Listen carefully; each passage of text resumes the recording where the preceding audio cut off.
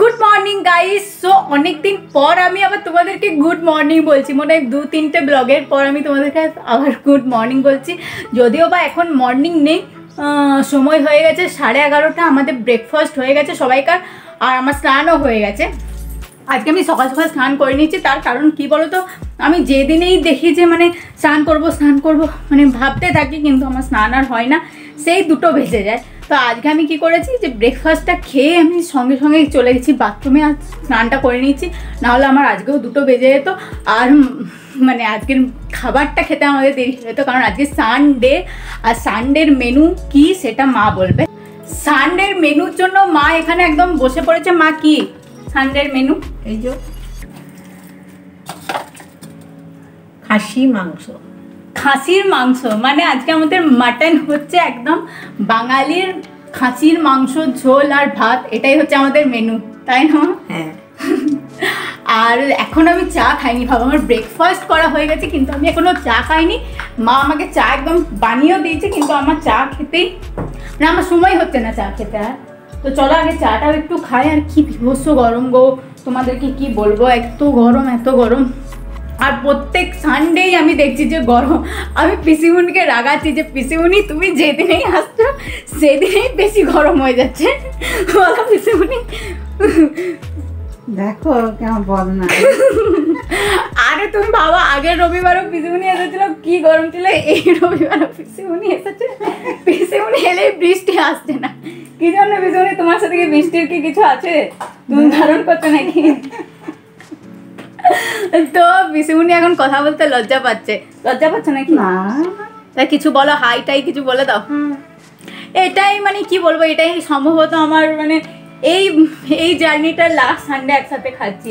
হ্যাঁ বল কি মনটা খারাপ? কারণ এরপরে তো আমার ফেরারও টাইম চলে এসেছে তার জন্য খুব মন খারাপ।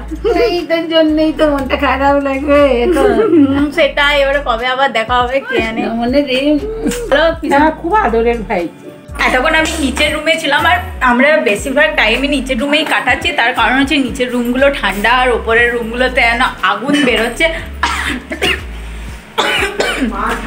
আর মা প্রত্যেক দিন এমন রান্না করছে। বাবারে কি বিশাল ভয়ানক রান্না সেটা। মানে রান্নাতে কিছু ফোড়ন দিলে এত খাসি হচ্ছে। আমরা ভয়ে নিচের রুমে গিয়ে বসছি সবাই। টিভিতে। দেখা ফোড়ন কিন্তু কিন্তু এত মা মায়ের ফোড়ন একটু মানে অন্যরকমই ফোড়ন আমার যা মনে হয়। কারণ এত এত কাশি কি জন্য হয়? মা তুমি কি করো? এত ফোড়ন দিলে এত কাশি শুরু হয়ে যায়? মানে শুধু আমরা কাশি না মানে গোটা পাড়ার লোক মনে হয় কাশে। দিন এমন কেসেছি মানে মানে কাশতে কাশতে গলা মনে হচ্ছে এবারে ফেটে চলে আসবে। এরকম অবস্থা আর কি। তো মা কি এটা খাওয়ার জন্য?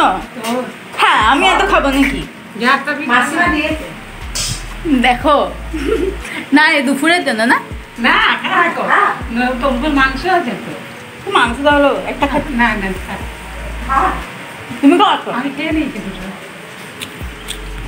তো আমি ছাদে এলাম কাপড় তুলতে, কারণ হঠাৎ করে মেঘ বাবাজি এসে হাজির হয়েছেন। আর সত্যি মানে ওয়েদারটা খুব সুন্দর হয়ে গেছে।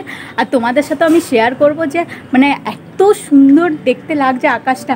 আর দেখো, বক যাচ্ছে পেছনে। চলে গেলো, তোমাদেরকে ক্যামেরাতে দেখাবো ভাবলাম, কিন্তু তার আগে সে উড়ে চলে গেল। আর তো চলো, কাপড়গুলো তুলে নিই। আর বৃষ্টিটা এলে সত্যি খুব ভালো হয় গো। মানে এত গরম লাগছে, এত গরম লাগছে। তোমাদেরকে কি বলব? আর তাকাতে পারছি না আমি রোদে আর।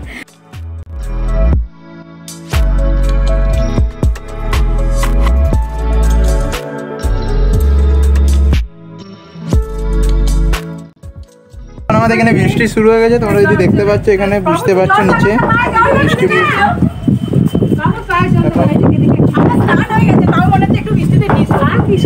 দুপুরে ভুড়ি ভোজ করার জন্য ভগবানও আমাদেরকে সাপোর্ট করে ফেলেছে, কারণ ওয়েদারটা জাস্ট অসম হয়ে গেছে। বাইরে একদম মানে যা বৃষ্টি পড়ছে ও এখন বৃষ্টিটা একটু কমলো বাট মানে ভালো রকমের বৃষ্টি হয়েছে আর কি। কি বলব, বৃষ্টিটা না হলে এত কষ্ট হচ্ছিল, আমার যেন গলায় একদম র্যাশ বেরিয়ে গেছে আর কি। এত লাল লাল পুরো র্যাশ ক্যামেরাতে তো ভালো বোঝা যাচ্ছে না, কিন্তু মানে নিজের চোখে দেখলে খুব ভালো বোঝা যাচ্ছে। বাট ওয়েদারটা সত্যি খুব ভালো হয়ে গেছে। বাট তাও কি বলতো বৃষ্টি হচ্ছে, কিন্তু ফ্যান ছাড়া থাকা যাচ্ছে না আর কি। কিন্তু তাও একটু বৃষ্টি হলে আর কি একটু ঠান্ডা হাওয়াটা দেয়, ওটাই আর কি। ফ্যান চললেও মানে খুব ভালো লাগে আর কি। না হলে তো ফ্যান চললেও সে গল গল করে ঘামতেই থাকি। আর মা আমাদেরকে পুরো থালা সাজিয়ে দিচ্ছে খাওয়ার জন্য। জামাই আদর তো জানো, আমার এখন জামাই আদর চলছে রোজ। তারা তোমাদেরকে দেখাচ্ছি। আর কি সুন্দর সাজিয়েছে মা আজকে। মানে মানে খাবারটা দেখেই মনে হচ্ছে যে খুব টেস্টি হয়েছে আর ইয়াম্মি হয়েছে। এখন আমি টেস্ট করিনি। মানে দেখেই মনে হচ্ছে ভালো হয়েছে। তো খেয়ে দিয়ে জানাব যে সত্যি ভালো হয়েছে কিনা। বাট আমার মা সিরিয়াসলি খুব ভালো রান্না করে। তো মানে দেখেই মনে হচ্ছে যে ভালো হবে আর কি।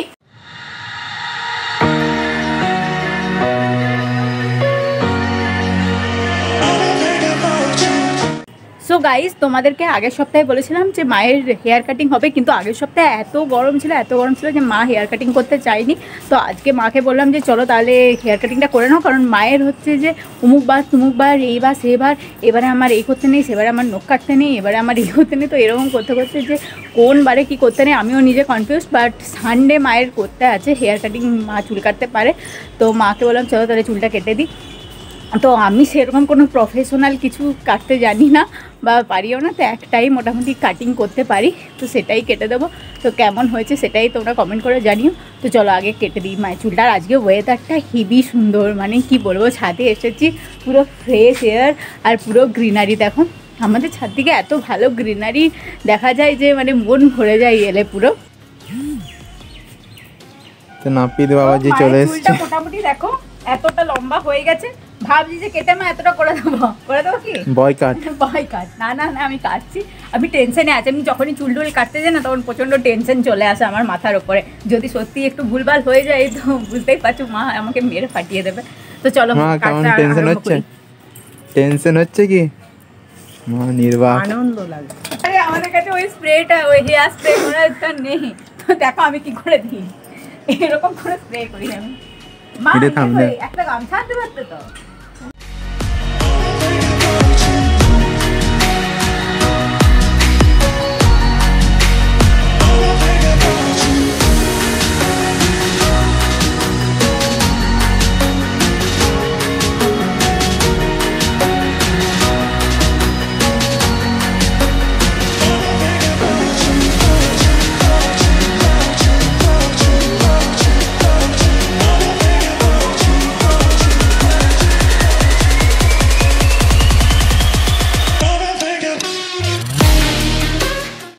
কাটার পর মা এখন ভীষণ কনফিউজ যে আমি ভালো কাটিনি, আমি ভালো কাটতে পারিনি। তোমরা বলো, আমি কি প্রফেশনাল যে আমি মানে একদম বিশাল কিছু কেটে দেবো? তো তাও আমি কেটে দিচ্ছি, সেটা তো মায়ের স্যাটিসফাইড নয় মা, তুমি দেখাও সবাইকে পেছনটা ঘুরে যে আমি খারাপ কেটেছি কিনা। তোমরা কমেন্ট করে জানাবে যে আমি খারাপ কেটেছি কিনা। দেখো আমি বিশাল বড় কিছু মানে বিউটিশিয়ান বা কোনো প্রফেশনাল হেয়ার কাটিং করতে পারি না তাও আমি যতটুকু আর কি পারি সেটাই আর কি করি সবাইকার উপরে অ্যাপ্লাই করি। তো সেটা নিয়ে মা এত কনফিউজ কেন তুমি বলো? ভয় লাগছে। না ভয় লাগছে